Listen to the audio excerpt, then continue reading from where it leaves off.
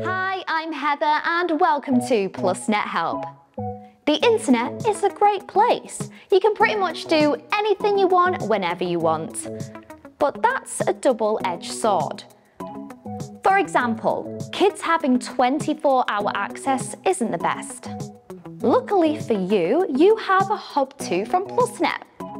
So now, when they go to bed to read, you can make sure they aren't secretly on their tablet watching YouTube. Let's give you control like it's 1984. First, make sure you're connected to your home Wi Fi. Go to your browser and type in 192.168.1.254. This will load up the Hub Manager. In the bottom right, select Advanced Settings.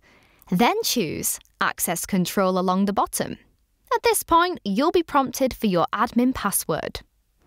This can be found on the handy card on the back of your hub. Once you've entered the password, press Submit and you'll now be able to fully manage which devices can connect to the internet and when.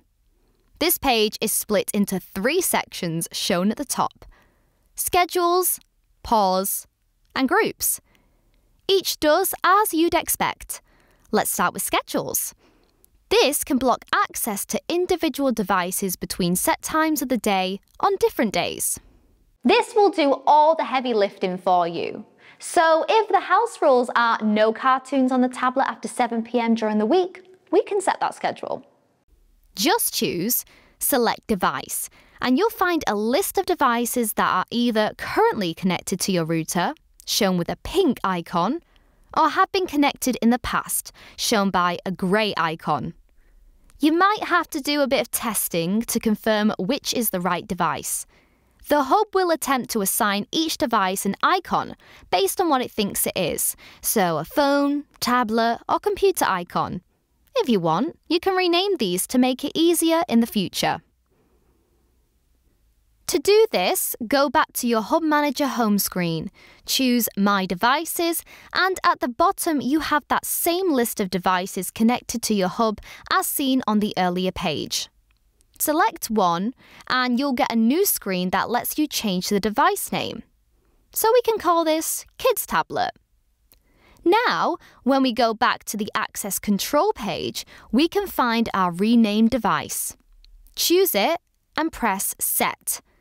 Now it's as simple as choosing your schedule times by pressing on start time or end time boxes.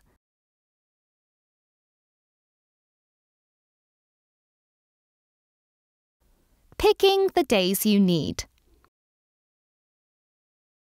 Then press the little plus button on the right to store it.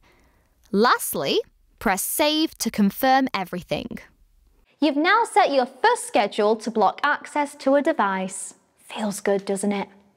If you ever want to stop it for a time, unselect the blocked button next to that schedule and it will pause it indefinitely. If you think you'll never need that schedule again, the cross to the right will remove it entirely.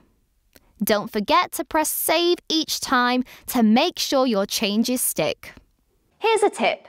If there's a bunch of the same devices that need to follow the same rules, you don't need to add them individually. Instead, we just create a group.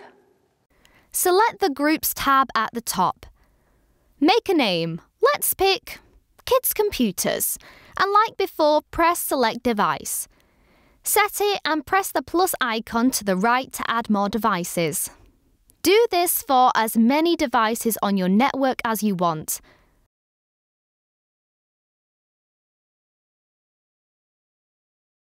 When you're done, make sure to press Save.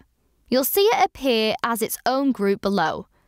You can always add new devices to it by following the same steps or delete the whole group by choosing the cross icon. You can also easily see what devices are in any group by pressing the arrow icon on the right. When we go back to the Schedules tab, we can press Select Group and our newly made group appears. The rest is just the same as before for setting a schedule.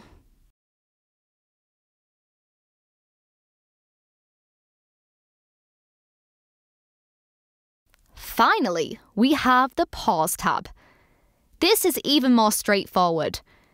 If you just want to block connections for an hour, or maybe only until 9 pm, for example, you can do that here. Again, it can be for individual devices or any groups you've created. Sorted! You can now flex your complete control over your home network. If you'd like more information, you can see our other Hub videos and guides over at plus.net forward slash help.